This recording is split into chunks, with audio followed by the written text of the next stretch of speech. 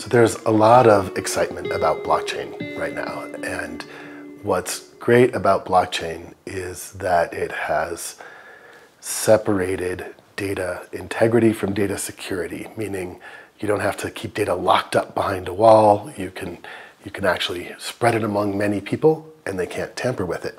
And you can operate different types of agreements, systems, smart contracts, applications in that space and make sure that everybody's following the rules. A lot of people have started to see how this might be able to shift some of the dynamics, in particular power dynamics in our systems, where, for example, for a currency, it, you could technically have currencies that we all could participate in and issue rather than that being something central to bankers or governments. And um, also for software, things like Facebook or Twitter, you know, like we actually could just run these things peer to peer and not have a company in the middle spying on us, choosing for us, deciding what we see, what we don't. Blockchain is a hash chain of blocks of transactions and all of the nodes that are participating in it have to synchronize one chain. They have to end up with one global ledger, which means essentially everybody has to do all of the work. So there's a fundamental scalability problem. It doesn't actually get more efficient as you add more nodes. It gets less efficient.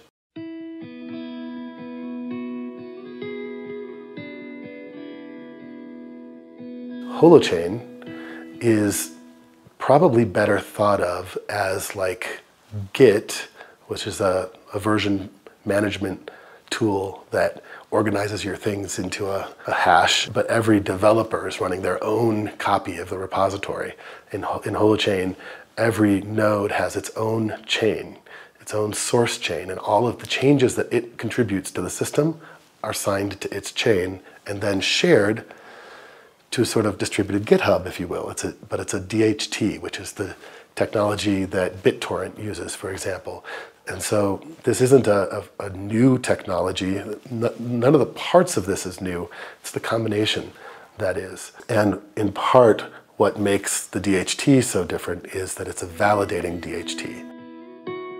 It's sharded as well, which we've been sharding DHTs for a while.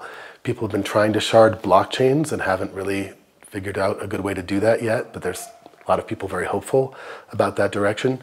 So you can shard it, break it into pieces, and then the nodes that end up with the data, having to store this piece of data, actually validate that data. They request, they, they validate it against the source chains who published it.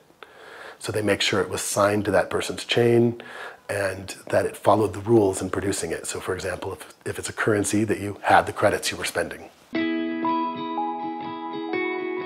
When people know blockchain, if they really understand the technology, they sometimes have a hard time kind of inverting the thinking because you're doing the signed chain part at the edges instead of at the center. And the center is an eventually consistent monotonic distributed hash table. The structure is different, so it's not about having a distributed ledger that everybody is connecting to.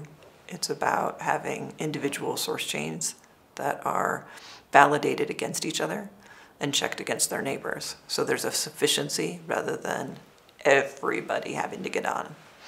Um, and that's what makes it scalable because as it gets bigger, it only gets more and more resilient and more efficient.